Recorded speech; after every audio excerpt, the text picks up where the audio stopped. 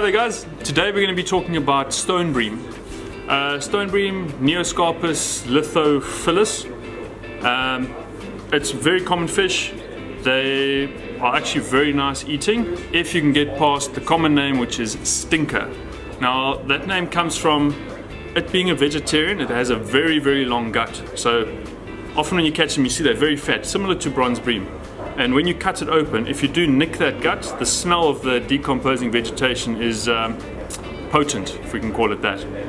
Um, stone bream, they are endemic, similar to the diamond skate that we spoke about. They occur from False Bay all the way up to southern Mozambique, so that's their limited uh, distribution. They don't occur anywhere else in the world. They can attain over 50 centimeters, which is a, a, three kilogram stone bream, but you're more likely to catch smaller fish in about the 500 gram to a kilo.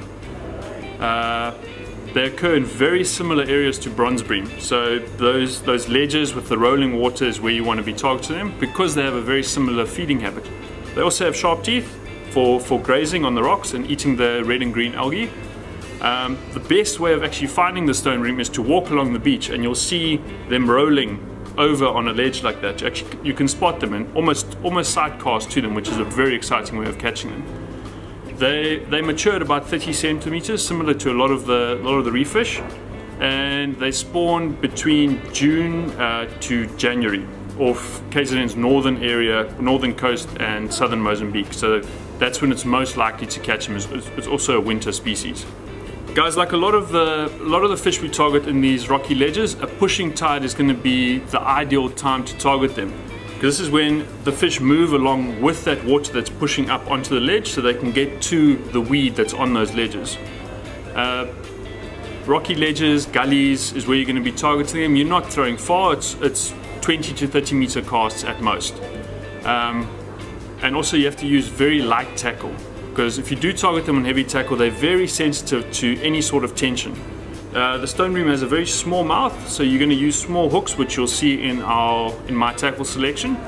Um, but yeah, the, with the small mouth, using light tackle, and you get to roll around a lot, you often find the fish a lot easier than using your big heavy 14 foot rod and you're not going to enjoy the fight at all. You want to you want to have fun while you're out there. So using the light tackle makes it a lot easier to move around, find the stone bream and fish to them and if you hook a big boy about two kilos, you're gonna have a lot of fun on that little coffee grinder. Okay guys, in terms of tackle selection, what I would use for the bronze bream, as we spoke, very light tackle. So my weapon of choice is a little a little coffee grinder rod with a small grinder on it. I've got a seven foot crossfire, very nice fast action, cast a nice little uh, bait quite a far away if you needed to, but as I say, you're mostly just flicking. To that, paired little Crossfire 2500. It's got more than enough capacity and enough drag for what you need to do and it's a very, it's a cheap little outfit to buy. Uh, onto that Crossfire, 15 pound J-braid. As we've spoken about many times, the J-braid breaks well above what it's rated as. You, you can go down as low as 8 pound if you want to, but the 15 pound gives you a little bit more abrasion resistance if he does take you around the rock so you get a bigger fish. And to that short little mono leader, about a meter of say 0.6, 0.55 thereabouts, just to give you a little bit of stretch and a little bit of invisibility. To that, uh, Ray is going to go through a trace with you guys, but what the hooks I'd use on the trace, the little ring chinu, you've seen how well they work for bronze bream, only for the stone bream we're going to downsize quite a lot because of their small mouth to, for me, a size 6 is the perfect hook. Slight bent back, sets nicely in the corner if you uh, snell the knot. And yeah, it's just, it's a brilliant hook for them. Hooks them nice, it's nice and sharp, chemically sharpened. And you're gonna get even that bigger fish, it is quite a strong hook, so you're not gonna open it up.